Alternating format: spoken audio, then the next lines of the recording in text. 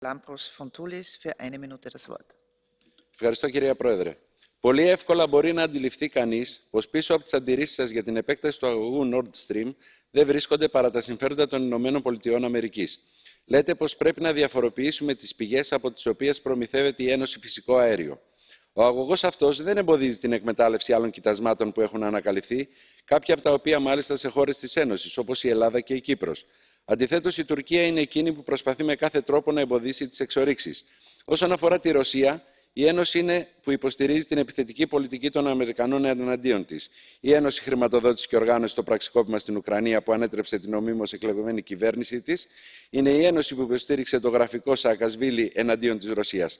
Αντιθέτως, όταν η Ένωση επέβαλε κυρώσεις στη Ρωσία κατά απέτηση των Αμερικανών, ούτε για μία ώρα δεν σταμάτησε η προμήθεια φυσικού αερίου, αναδεικνύοντας πόσο ανεδαφικέ είναι οι ρητορίες περί ενεργειακής ασφάλειας. Ο μόνος δρόμος που ευνοεί όλα τα μέρη και εξασφαλίζει τη σταθερότητα στην Ήπειρό μας είναι αυτός της συνεργασίας και της έντιμης εταιρικής σχέσης μεταξύ της Ρωσίας και των υπολείπων κρατών της Ευρώπης. Ευχαριστώ.